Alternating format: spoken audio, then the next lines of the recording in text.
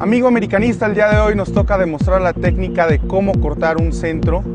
Eh, hay diferentes eh, situaciones en las cuales debemos, más bien las cuales debemos considerar, eh, y eso dependiendo del cobrador, si es de pierna derecha, si es de pierna izquierda, y también depende mucho del lado del que se cobre el tiro de esquina.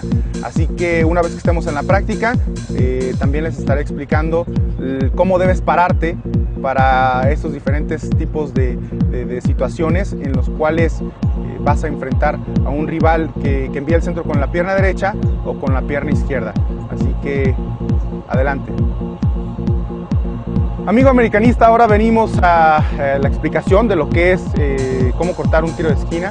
Como podemos ver, nuestro cobrador lo va a realizar con la pierna derecha. Esto significa que nosotros debemos jugar poquito abiertos de la portería, ya que el centro va a venir con tendencia a abrir y debemos estar un poquito más abiertos para poder cortar la trayectoria del balón. Así que vamos a realizar esta acción eh, a continuación con un cobrador de pierna derecha.